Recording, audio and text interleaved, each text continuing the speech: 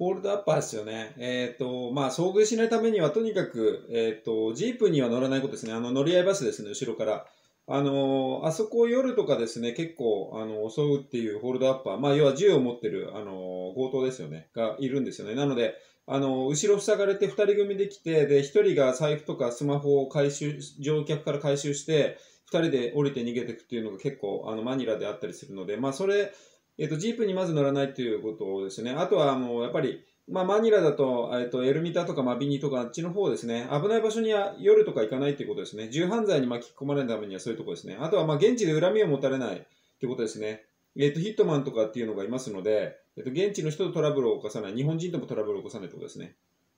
まあ、食中毒にならないためにですね、えっと、とにかくまあ、水、